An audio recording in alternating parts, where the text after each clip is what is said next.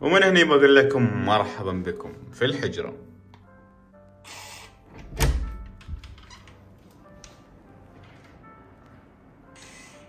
أول شي نسكر الباب. السلام عليكم ورحمة الله وبركاته. like و subscribe وخلنا نبتدي كل شيء راح أتكلم عنه في الحجر راح أحط المنتج هنا على يسار الشاشة من أمازون. فإذا أنتم كنتم مهتمين تقدرون تبحثون عنه. هذه الحجرة اللي أعيش فيها مثل ما تشوفون. خلصناها أخيرا في البداية في البداية عندي هذه السويتشات راح أشغل لكم الليتات عشان تشوفون بشكل واضح. هذه السويتشات الذكية تكلمت عنها راح أخلي لكم الرابط أسفل مقطع الفيديو. تقدر تتحكم فيها بالتلفون أو بالمساعدات الصوتية سواء كان Google Assistant أو Amazon Alexa طبعا هذه صورة رفيقي واحد من ربعي اللي رافقتهم في أمريكا وبعد هذا الشيء ذكرني بربعي اللي في أمريكا. عندكم هذه السويتشات ثلاثة والحين نروح لهذا المكان الرهيب. حاولت يا شباب إني أسوي تصميم الحجرة على قد ما حبيت وحاولت إني أسويها غرفة ذكية بقدر المستطاع. عندكم أول مكان اللي هو هذا منطقة المشاهدة أو التلفزيون. مثل ما تشوفون قناتي هنا حطوا لي like و subscribe. بتكلم عن هذه الزينة بتكلم عن كل شيء الحين.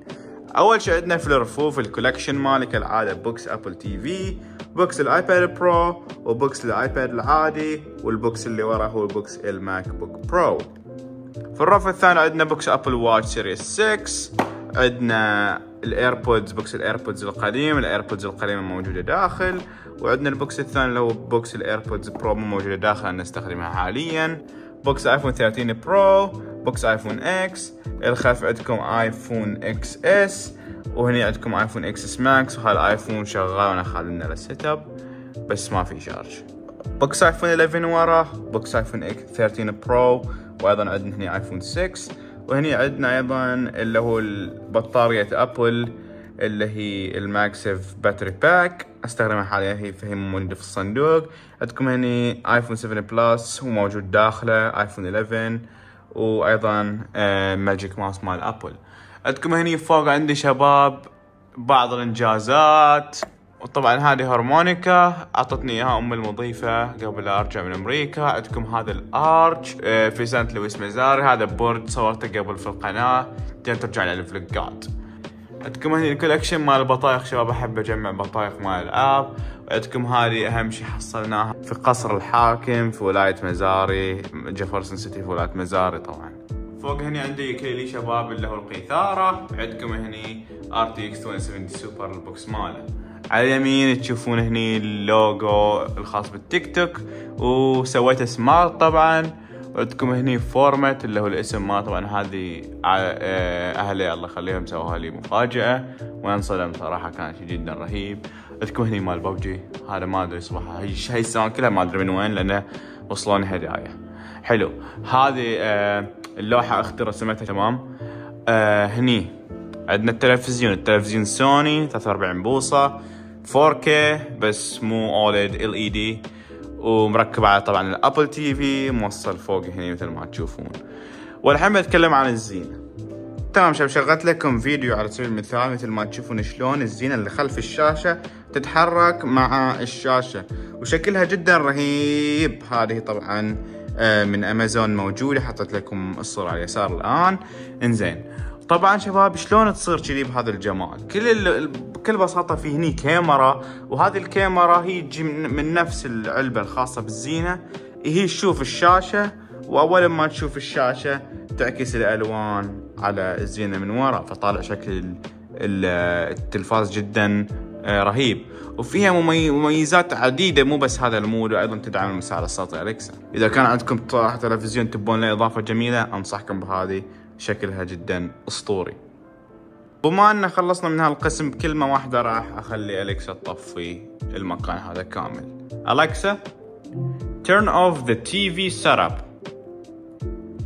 okay مثل ما تشوفون كل شيء انطفى بكلمه واحدة. To be specific جملة واحدة مو كلمة واحدة.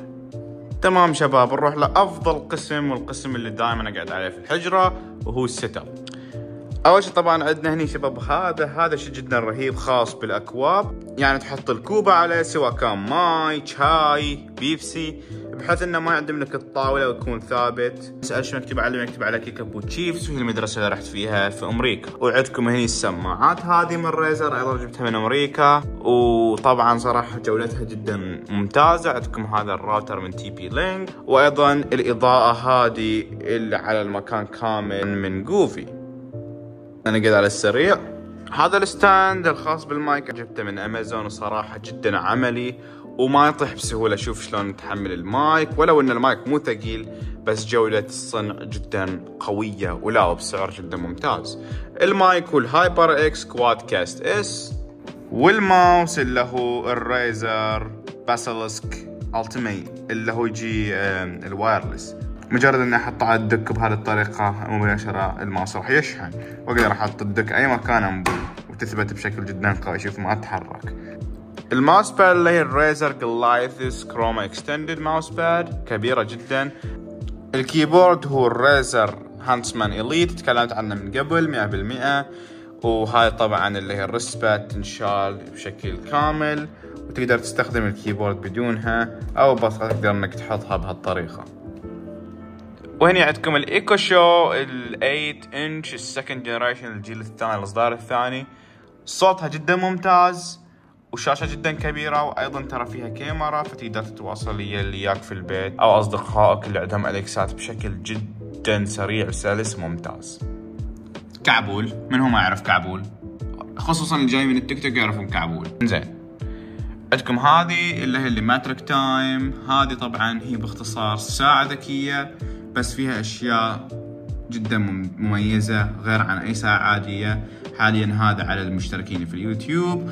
أيضا عندك فيها سبيكرات تقدر تحط فيها تطبيقات على راحتك مثل timer تقدر تحط فيها راديو وحتى آه، عدد المتابعين في التيك توك أو الإنستغرام. وهالامور هذه كامل. بس أنا أفضل اني أحطها لل subscribers الخاص بقناتي على اليوتيوب. طبعا يا جماعة الأسعار راح تكون مختلفة من يوم إلى الثاني. فالأسعار اللي راح أحطها مو شرط ان تكون أسعار دائمه تمام. عندكم شباب هذه الشاشة أخذتها شاشة ثانوية من شركة Sceptre الأمريكية. طبعا هذه آه، ما تتوفر في الشرق الأوسط لازم تشتريها من أمازون. المواقع خارجية لأن ما شفتها في الشرق الأوسط. وصراحة سعرها جدا ممتاز على أدائها جدا أسطوري. 75 هرتز فيها 2 HDMI أيضا فيها speakers built-in speakers بس ما انصح فيهم لأن كلش تعبانين. يمكن هذا الشيء الوحيد اللي ما كان المفروض ينحط في الشاشة. على كل إضاءة الشاشة ال panel مالها جدا ممتاز. ما أعتقد إنه IPS ما أدري شنو. وأعتقد إن سرعة الاستجابة توصل إلى 5 ملي في الثانية بس أنا مو متأكد. الشاشة الثانية عندكم الديفو 2K 27 انش 165 هرتز ال IPS إلى الآن ما غيرتها. الشاشة مو قوية بس لا بأس فيها. عندكم هني فوق اللي هي ال Razer Kiyo Pro اللي هي الكاميرا اللي دائما اصور فيها وأستخدمها بشكل مستمر. والشاشة طبعا على stand جدا رهيب من امازون اخذته في ال Prime Day بسعر جدا مثالي. مثل ما تشوفون أقدر أحرك الشاشة قدام ورا فوق تحت مثل ما تشوفون. تقدر طبعا تسويها بالطول أو بالعرض. صراحة أعطاني واجد مساحة في ال setup تعرفون ال monitor اللي هو ال stand الخاص بالشاشات يكون جدا كبير ياخذ مساحة من الطاولة. فهذا أعطاني مساحة جدا كبيرة من الطاولة وأيضا سوى لي تقريبا ال cable management بشكل أحسن من السابق. إلى الآن عندي كم wire طالع بس أفضل من قبل. ال PC هذا ما غيرت فيه ولا شيء.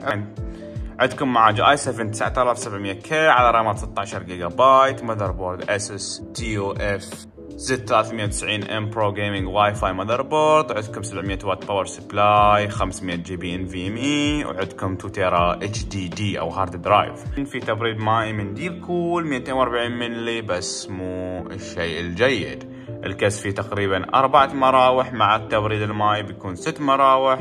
مع كارت الشاشة راح يكون ثمان مراوح. طبعا كارت الشاشة اللي هو ال RTX 2070 سوبر ال case اللي هو ال Corsair X 465 على ما أعتقد. مو متأكد بس أنا ما أعتقد. راح أحط لكم اسمه الشيء الأكيد على الشاشة. أو عندنا هذه طبعا حصلتها في أمريكا كهدية. عندكم هذه اللي هي ال Cololight Pro kit وأيضا تدعم مساعد الصوتي Alexa فهذا شيء جدا رهيب. صورتي هي ال PlayStation 4 وعندكم هذه السماعة اللي هي للحين ما غيرتها اللي هي خرابة طبعا بس لازم تستخدمها.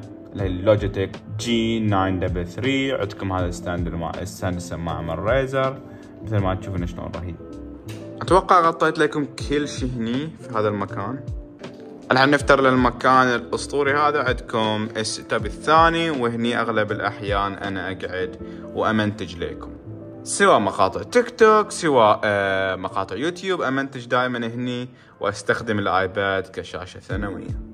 طبعا هذا اللي ما يدري هو جهاز ال MacBook ها 16 inch ال MacBook Pro M 1 Pro chip 16 giga RAM يجي وأخذت مساحة ال 1 tera SSD. وال iPad اللي عندي اللي هو ال iPad Pro اللي هو الف موديل 2018 بعد 1 tera 12.9 إنش أبو الحجم الكبير. وصراحة ال iPad هذا عندي من تقريبا نهاية 2018 الآن. موضوع جدا ممتاز باستثناء البطارية. البطارية معناتها شوي صارت تخلص بسرعة بس هذه مو مشكلة عويصة بالنسبة لي. أهم شيء أسوي الشغل اللي أحتاجه. في البداية كنت منتج على iPhone 7 بعدين حولت على iPad 5 بعدين وصلنا هذا ال iPad Pro والحين منتج لكم على هالوحش.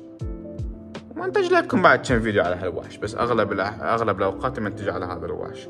عندي خبرة في Final Cut Pro جدا قوية طبعا. ال Final Cut Pro هو برنامج المونتاج اللي يجي من Apple وعندي إياه في هذا الجهاز.